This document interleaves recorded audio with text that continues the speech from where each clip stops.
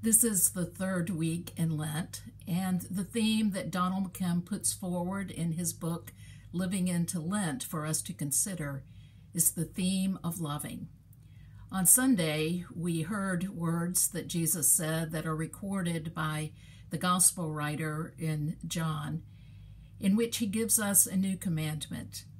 He says, I give you a new commandment that you love one another. Just as I have loved you, you ought to love one another.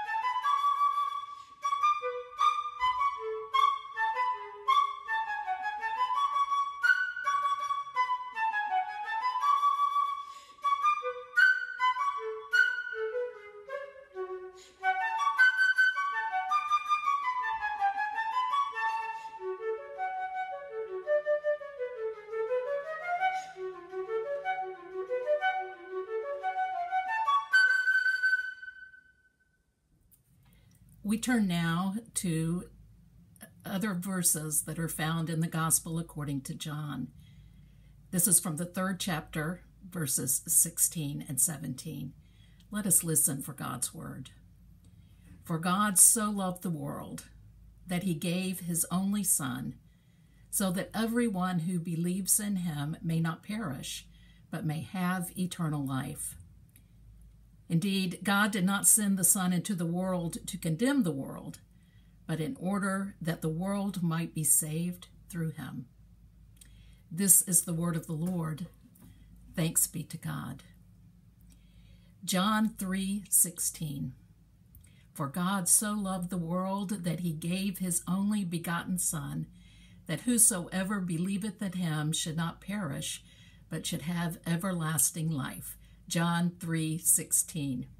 Perhaps you learned it very much this way when you were in your primary Sunday school class back in the day and you learned to make the citation right at the beginning, say the verse and then recite it once again, all in King James version.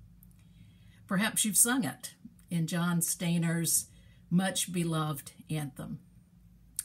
Certainly, most of you, if not all of you, who are watching and listening to this video have seen it placarded at various sporting events. The verse is much loved by many, many Christians around the world. And our love for it often is not connected to the context in which the words were uttered and as they are presented in the Gospel according to John, which is when the Pharisee Nicodemus comes to Jesus by night, but rather we're drawn into the rhythm of these verses. The verses seem to us to become background music for our faith. And perhaps John 3:16 as background music might be precisely what our divided world is most longing to hear during these days of Lent in 2021. Now, I invite you to imagine now that you are coming home from work to your house. Uh, you come into the kitchen, walking through from your garage, into the bedroom to change into something more comfortable. And as you pass that little device that's sitting on the counter, you say, Alexa, play me some music. Play me some Bach. Play me some smooth jazz. Play me some oldies from the 80s. You continue on into your room and change into something that's more comfortable, and then you come back into the kitchen.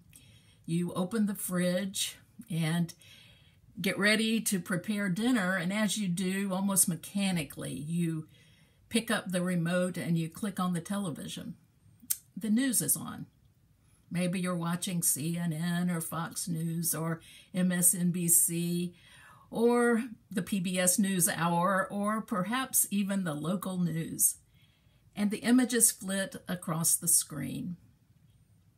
What you see there are images of children at the US Mexico border. You see the faces of suffering citizens in Myanmar. And just as those images are flitting across the screen, you become aware of the background music.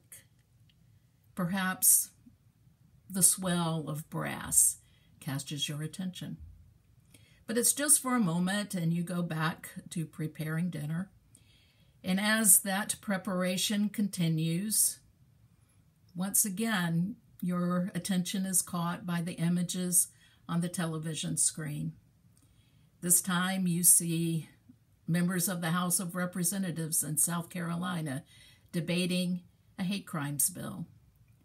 And following that, you see images of people with pre existing health conditions bemoaning how they have been unable to persuade both political and health officials to allow them to get the vaccine.